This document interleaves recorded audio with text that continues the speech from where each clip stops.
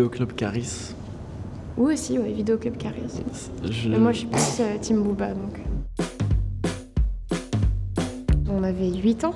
On venait d'avoir 8 ans. Ouais, euh, à- à 8 ans, t'es en, t'es en primaire? T'es en, t'es en CM1 Oui, évidemment, oui. Ouais, t'es en CM1. Moi j'étais au lycée. On était en quelle classe? J'étais au lycée. Euh, J'étais en seconde, je crois. En seconde, Toi aussi, donc, t'étais en seconde? ouais, il y a 10 ans, je devais être dans un internat à Avignon. Mais non. Si Il y a dix ans, je me battais avec un projet qui était un projet solo, où j'essayais euh, d'exister dans un monde de la musique euh, qui était assez difficile. Malgré ça, j'arrivais quand même à jouer dans des squats avec tous mes synthés. Donc euh, voilà, c'était beaucoup plus physique, beaucoup plus dur, mais c'était quand même cool. On avait des coupes mulets à l'époque, tous les deux. C'est un peu différent pour nous deux, mais moi, mon père était musicien, c'était c'était son métier. Il, avait- il faisait de la guitare, il était guitariste. Et donc j'ai baigné un peu dans cet univers musical et je lui ai emprunté ses instruments et son studio.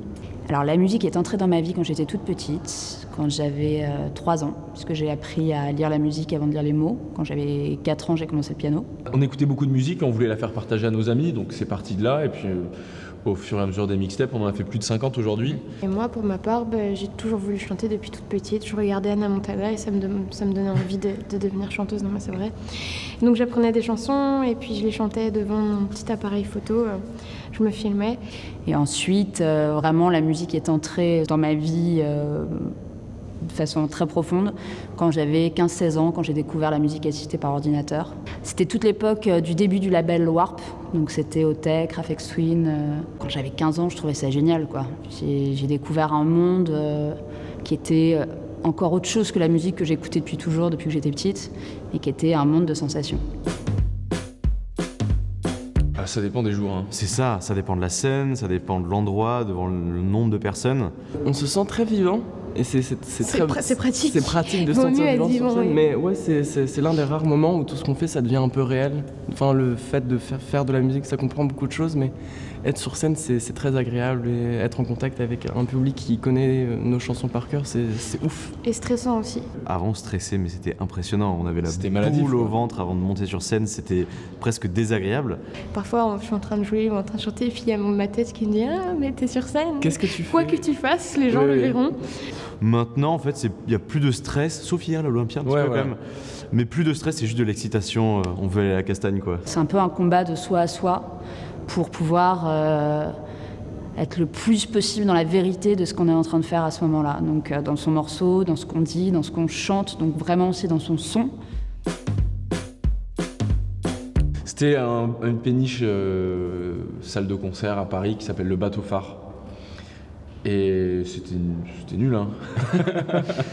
Alors c'était dans notre ville, à Nantes. Il y a une tour à Nantes, une très grande tour, et il y a un bar qui est au dernier étage qui s'appelle le Nid.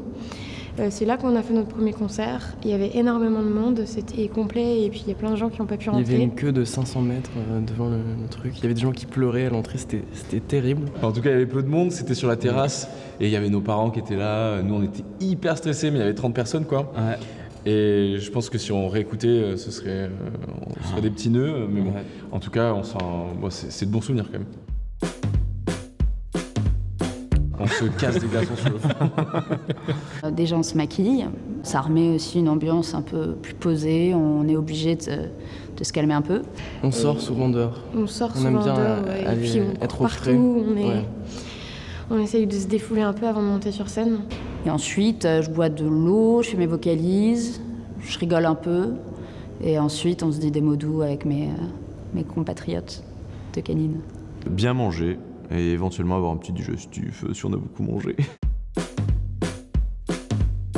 Chaque semaine, j'ai un nouveau coup de cœur euh, sur lequel je bloque, je l'écoute, j'en ai marre. C'est beaucoup d'essais aussi, comme les garçons. C'est pas un seul son, c'est trop rapide. Depuis un an et demi au DZN, ça change, j'ai- ça va jamais changer, je pense, mais ouais, j'écoute en boucle le DZN. Ce serait Reboliedo, le set qu'il a fait pour le Burning Man sur la scène Mayan Warrior euh, de cette année, que je trouve incroyable.